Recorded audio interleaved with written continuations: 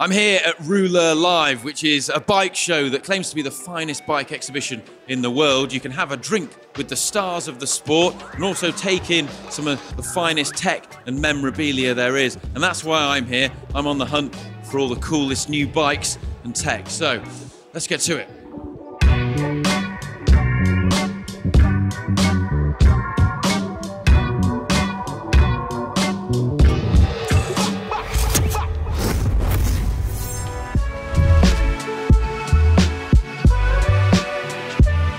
Wahoo has got some very intriguing stuff on its stand, and I'm very excited to see these things because they've not been released to the public. This is their first public outing. This is the Kicker Roller.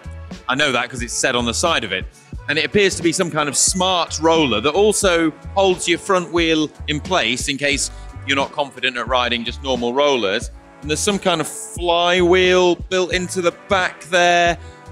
But other than that, it's hard to exactly tell what it does specifically. And well, I've spoken to the Wahoo people on the stand, and they're being rather tight-lipped about it. They're saying that it, hopefully it will be launched in 2022, but I guess we'll have to watch this space. The other exciting thing there, though, is the bike that's on here, this beautiful SL7 uh, tarmac, actually has what is appearing to be the Wahoo Speedplay power pedals. Uh, and you can tell that they're different from the standard uh, Speedplay pedals because the spindle here has this extra sort of, well, wider spindle body here with closer to the crank that presumably has all the hardware in for the power meter, the strain gauges and stuff. There's also these curious little uh, magnet sort of socket points on it, which I'm guessing are for how you recharge it. Um, and it looks a similar kind of system to how you recharge Di2 uh, with that kind of cable. So yeah, it'd be interesting to see. But again, they're being quite tight-lipped about it. But as you turn the cranks, you can see these blue LEDs flash, and there's one on each side. So you, well, you'd say it's a dual-sided power meter. I don't know if there's going to be a single-sided one, but I guess we'll get, we'll have to watch this space.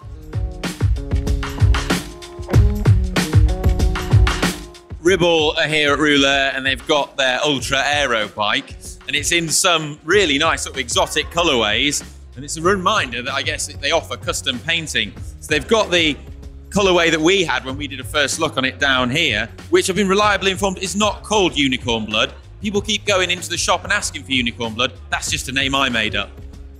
But it does look like Unicorn Blood. I've not seen one like this before, which is kind of like purple and pink, and that's right, rather cool. And it's got the new Ultegra Di2 on it as well, which is first time I've sort of seen that group set fitted to a bike. And then there's a really nice matte black and gloss black one over there with a silver Ribble logo on. It looks incredibly smart. And that's got the new Dura-Ace Di2 on it. It looks incredible. And the other thing here is that the Drops Le Col women's team is actually here on the stand right now because they're going to be riding these bikes next year. But we don't know what the team's going to be called next year yet, but well, maybe post your suggestions in the comments down below.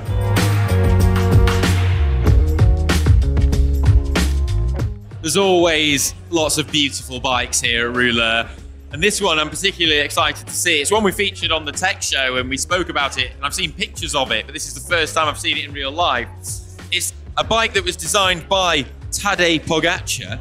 Uh, it's a Colnago V3 RS with a custom paint job called Fire and Ice, which he came up with. I don't know either. I mean, maybe he's just a fan of Game of Thrones. But the, the paint on this is beautiful. Like this ice crystally effect, and then this this sort of, you know, red fade that's on here, and then sort of, I guess maybe it's to signify charcoal or something at the bottom, but it, I mean, it's it's absolutely exquisite. It's got all the best Italian components on it. So you've got Bora Ultra WTOs on there. I mean, they're the, the bee's knees, those wheels. But the most interesting thing about this is it has an NFT attached to it, a non-fungible token. If you don't speak nerd, that's basically like kind of a, a sort of cryptocurrency, blockchain, Bitcoiny thing that that means it has a unique identity and you can log onto an app and, and trade it when you sell the bike. We did a tech show on it. It's kind of cool.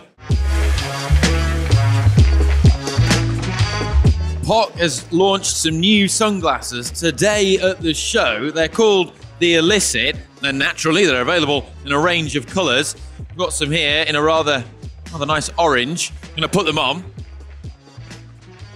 There you go. So the, the first thing that strikes me about them is just how light they are. So it's ridiculous. They're just 23 grams, and that's thanks in part down to the frameless construction, but also the way that you've got this almost like cantilever construction of the arms to help reduce weight as well.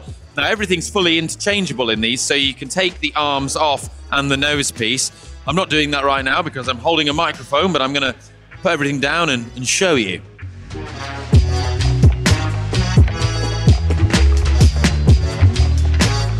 So this is the clarity lens with all the hardware removed, and there are different lens options uh, depending on your sort of chosen activity or you know what light levels you're going to be operating in. But yeah, pretty cool. I'm going to put one on again, and you can tell. Oh, these ones are pink. What do you think? The new POC Illicits, hot or not?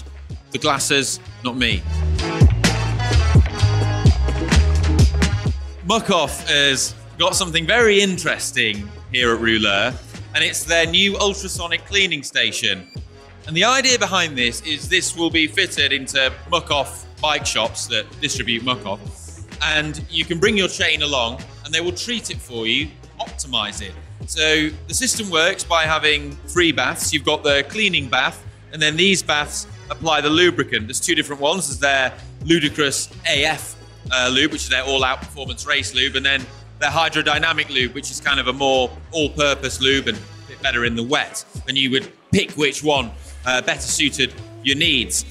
And the, the reason sort of behind using ultrasonic baths, or sonicators as they're known in chemistry land, is um, they're really good at cleaning things. And that's because by putting the sonic vibrations through the solvent or the liquid that's in the bath, that's able to permeate the links and the little gaps in grooves in your chain and through the rollers and pins and really get into those nooks and crannies and get rid of the dirt. They've got a special uh, cleaning fluid that's to be used in this that they've developed too. And then the next step is to put it in with the lube, and then the same process happens again, but kind of in reverse.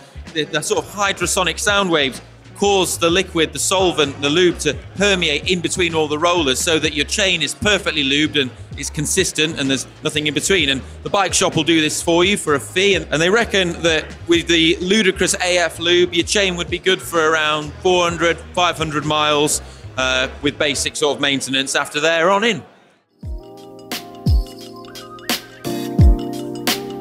Met has got a cool new helmet. This is the Trenta 3K MIPS carbon. So you can see it's got the very nice carbon layer on here to keep it very lightweight.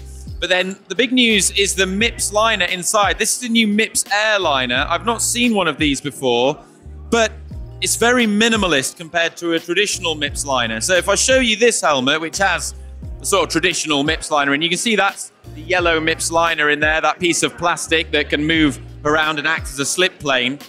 But then here, it's a very nice padded affair that can still act in the same way. Having been to the Met factory and seen how they perform their safety testing, I can only imagine the horrors that this poor helmet's been put through in the design process. And if you haven't seen the Met video, one of the things that I love about the, the Trenta is that it's actually been designed by the same chap who designs Lamborghini Aventadors and Lamborghini Huracans. So that's why it has such a nice, nice form to it. You've seen the Hope Lotus bike before, but I'm willing to bet you've not seen one painted like this. This thing looks, well, it's absolutely incredible. This is actually an artist's interpretation of an alternative version of the Team GB flag, hence the, the red, white, and blue. And it's been painted by a guy called Death Spray Custom, who has painted bikes in the past, actually. He did a few of Peter Sagan's bikes when he was at Cannondale Liquigas. You may remember some of those. And he's also painted stuff for the rally driver Ken Block, which is rather cool. I'm a big fan of this. I think, well, I've not really seen a paint job like this. It's got a white disc wheel on it. But what do you think? White disc wheel? Hot or not?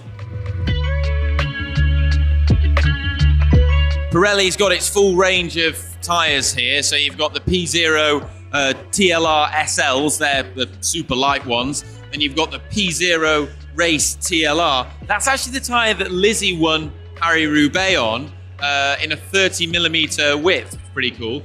But if you're look, you know, looking for a more wallet-friendly option, there's a new tyre here, which I've not seen before, but it was launched back in August. It's the first time I've seen it. It's called the Pirelli P7. Um, so it's available in 24 to 32 millimeter widths. So it's got a lot of the sort of tech, and it's that same thing we always hear about trickle down tech from some of the more sophisticated uh, tyres in the range, but in a more affordable package. So the UK price is around £24, which is much kinder on your wallet than some of the more expensive options. Nice, still get a nice Pirelli logo on the side. Pinarello are here, and they've got some really nice bikes on the stand. This is my favourite though. It's Gianni Moscon's bike from Paris-Roubaix. And the most cool thing about it is it's still got all the dirt on it, it hasn't been cleaned. It's absolutely filthy. But I don't know, something really cool about it. And it's also interesting because, well, disc brakes. Ineos, we're using disc brakes at Paris-Roubaix. Will they be using disc brakes in all races next year? I'm not sure. Guess we'll find out. And I had to show you this one as well, because when you can see it in person, it looks incredible. This is Carapaz's bike that was given to him in celebration of him winning the Olympics. And so he's got this gold paint job on. But quite a lot of people took the mickey out of Carapaz, saying that his gold bike wasn't gold. But in this light here, it does look gold. And this metallic paint job is beautiful. You've got like a matte black finish here, but the way that the gold, the metallic paint, sort of fades in and blends into the black. It's not just a sheer cut, it just sort of blends in. It's absolutely beautiful. I'm, I'm a big fan of these metallic paint jobs. We're seeing more and more of them. But what do you guys think? Is metallic paint cool or, or is it not cool? I, I really like it. There are lots of very fancy pants, bikes, and bits of kit here at Rouleur. But this one has really caught my eye. I've not seen one of these in the carbon before, but it's a BMC masterpiece, and it's, well, as the name suggests, a masterpiece. It's their top of the range frame set. So it's based on a BMC Roadmachine, but although it's the same shape and geometry as a BMC Roadmachine, that's about all it shares. The layup is meticulously done by hand with the finest carbon fiber that's commercially available, Toray 1 million or whatever it's called. But it's done by a single engineer, meticulously by hand, in a single piece. You may have seen uh, videos in the past we've done about how bikes are made, and the rear stay, the rear triangle, is separate from the rest of the frame. Um, whereas here, it's all done in a single piece construction. It's laid up by hand, like I said, by one person, all the individual swatches of carbon. And then as it comes out the mold, this is as it appears fresh out. There's no surface finish required on it because it's just so meticulously done. It takes a lot of hours to make one of these, but it's just this bare carbon finish and you can see the weave of the carbon, no paint on there, and consequently, it's very, very light. But if you want one, well, it's a kind of, it's one of those things, if you have to ask how much, yeah, yeah, probably don't put it on your Christmas list. So that's been the Rouleur Bike Show. I hope you've enjoyed looking at all the amazing and rather bling things that we've shown you. Let us know in the comments what your favourite thing is uh, that we've shown you at the show. And if you've enjoyed this video, give it a thumbs up. See more content like this, be sure to subscribe. And I'll see you in the next one. I'm going to go and have some cheeky libations over at the bar over there. Bye.